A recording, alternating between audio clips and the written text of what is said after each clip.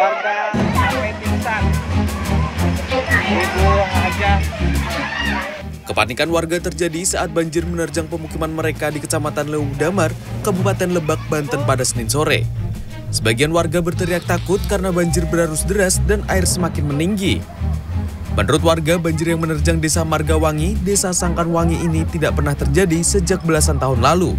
Pasalnya, pemukiman mereka berada di dataran tinggi.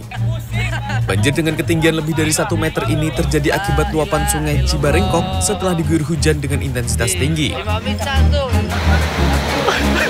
Seperti inilah proses evakuasi sejumlah pengunjung tempat wisata alam Rumede, Desa Kunyi di Kabupaten Polewali Mandar, Sulawesi Barat minggu malam. Satu persatu pengunjung dievakuasi menggunakan kain sarung yang terikat pada tali katrol menyeberangi sungai Kunyi yang berarus deras. Pengelola tempat wisata mengatakan derasnya arus terjadi akibat hujan di bagian hulu sungai. Sebelumnya pihak pengelola sudah memperingatkan para pengunjung agar segera menyeberang, namun imbauan tersebut sempat diabaikan.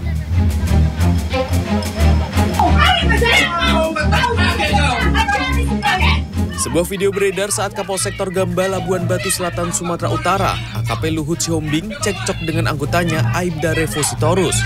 Luhut disebut mengusir Revo dari asrang Polsek. Di samping mereka juga tampak dua wanita yang saling mencaci diduga istri dari kedua polisi tersebut. Kapolres Labusel AKBP Catur Sungkowo kepada Detik Sumut membenarkan informasi yang terjadi itu pada Minggu 12 Maret. Catur menegaskan kejadian ini berawal dari masalah sepele antar tetangga yang bersebelahan.